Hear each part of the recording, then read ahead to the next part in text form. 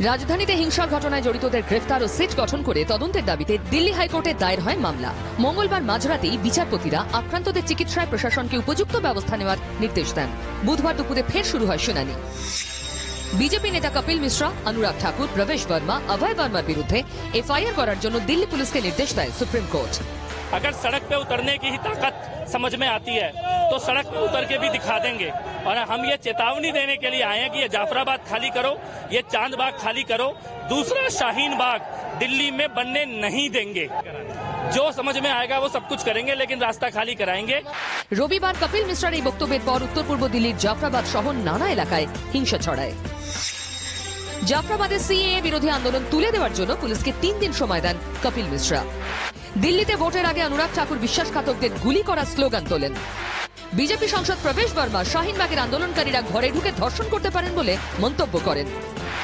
হিংসা চলাকালীনই মঙ্গলবার পূর্ব দিল্লির মঙ্গল বাজারের মিছিলে বিজেপি বিধায়ক অভয় বর্মা ফের গুলি করার কথা বলেন। এদিন দিল্লি হাইকোর্টের দুই বিচারপতি এস মুরলীধর এবং তলবন্ত সিং এর এজলাসে এই চার বিজেপি নেতার বক্তব্যের ভিডিও ক্লিপিংস চালানো হয়।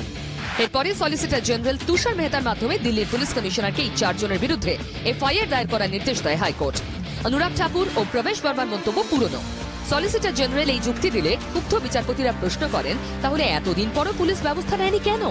বিচারপতি এস মুরলীধর তাকে বলেন, সম্পত্তি ধ্বংসই হোক বা আগুন লাগানোর ঘটনায় আপনারা দ্রুত এফআইআর করেন। উস্কানিমূলক বক্তব্যের ক্ষেত্রে সেই তৎপরতা দেখা যায় না কেন? অপরাধ যে হচ্ছে, সেটা মানতে পর্যন্ত আপনারা চান না। এখনই এফআইআর করুন। আদালতের তোপে দিল্লির পুলিশ কমিশনারও দিল্লি পুলিশের আইনজীবী তুষার মেহতাকে এদিন বিচারপতিরা বলেন সমস্ত উস্কানিমূলক ভিডিও পুলিশ কমিশনার অমূল্য পটনায়কের নজরে আনুন। এখনই তাকে এফআইআর দায়ের করতে বলুন। কেউ আইনের ঊর্ধ্বে নন। আদালত যে ক্ষুব্ধ তা পুলিশ কমিশনারকে যেন জানিয়ে দেওয়া হয়।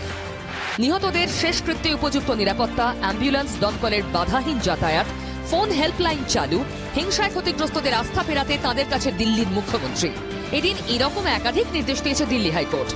আদালতে পর্যবেক্ষণ। দিল্লিতে উনিশশো চুরাশির শেখ বিরোধী হিংসার পুনরাবৃত্তি ঘটতে দেওয়া যায় না।